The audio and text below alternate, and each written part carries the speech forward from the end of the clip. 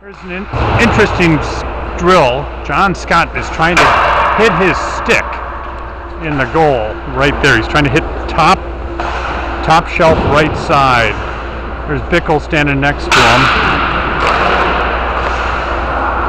So several attempts and he can't seem to do it. So let's see if Bickell can do it. Trying to hit that stick. Top shelf right side. Close. Not close. Very close. I think that was a hit. Well, Bickell looks pretty good here. The question is, can he do this with five players in front of him and a goalie? So that's what's going on.